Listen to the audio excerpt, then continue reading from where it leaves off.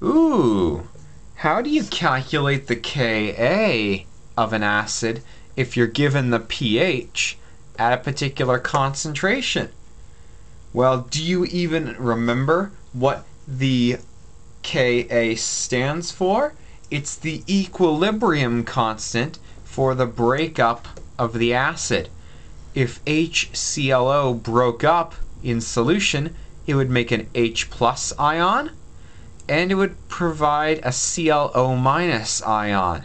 I believe that's the hypochlorite ion. The Ka is the value of the equilibrium expression, which is each of the concentration of each of the products of the reaction divided by the concentration of the reactants. In this case, it's just HClO, and the, these are concentrations at equilibrium. So, who cares? I care. Many people care, and here's why.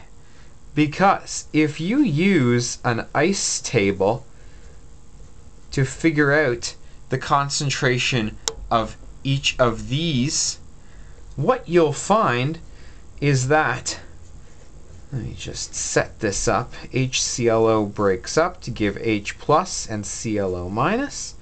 HClO initially is 0.1, and these are nothing.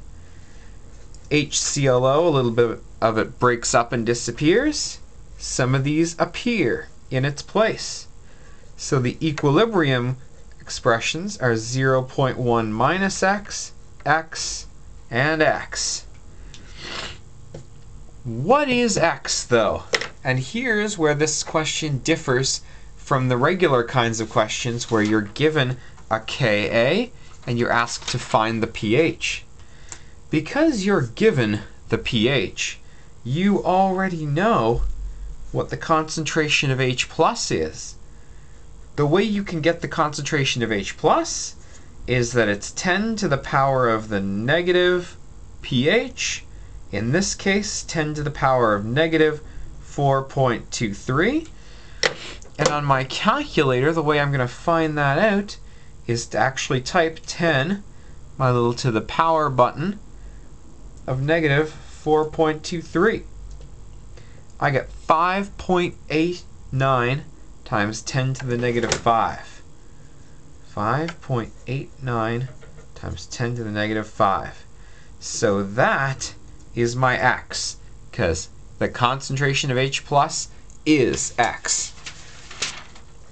And this is where things get awesome, because they've already told us that Ka is the concentration of H plus. Oh, well that's 5.89 times 10 to the negative 5, isn't it? Times the concentration of ClO minus. Oh, well that's 5.89 times 10 to the negative 5 as well, isn't it? And the concentration of HClO is 0.1 minus 5.89 times 10 to the negative 3. Isn't it? What you'll find is that this part doesn't even really matter. Oh, first of all, it's a 5. This part doesn't even really matter because it's so small relative to the point 1. But you know what? I'm going to type it in anyways. So, the Ka can be calculated by taking 5.89 times 10 to the power of negative 5 times 5.89 times 10 to the power of negative 5. A divided by, and I'm going to put this whole thing in brackets, 0.1 minus 5.89 times 10 to the power of negative 5. And the bracket, done. I get 3.47 times 10 to the power of negative 8. 3.47 times 10 to the negative 8 a completely legitimate value for the Ka of a weak acid. And that's how you do it. Best of luck.